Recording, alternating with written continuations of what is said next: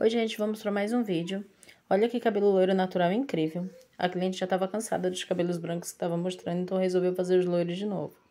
Esqueci de tirar a foto com a touca, mas olha que resultado incrível que me deu. Puxei uns 90% na touca. Abriu esse tom 9, gente. Maravilhoso. Olha a resistência deste cabelo. Deste cabelo teve um segredo. Eu não tonalizei ele, eu apenas matizei ele com o matizador da Camaleon Color, porque ela gosta de um cabelo bem dourado, ela não gosta de acinzentado.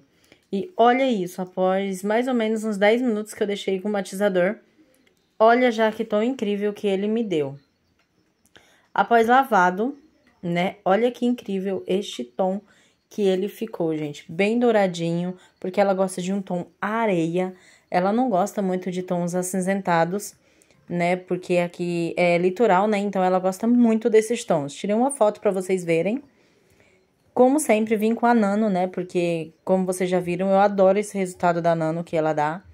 Olha que resultado areia incrível. Gente, tô apaixonada por este cabelo.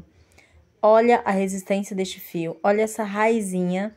Que linda, que naturalidade que ele dá. Olha que incrível, gente. Estou apaixonada por este cabelo. Eu simplesmente amei trabalhar. Eu sempre gosto muito de trabalhar no cabelo dela por ele ter sempre essa resistência. Se você gostou, deixa o seu like aí e se inscreve no canal.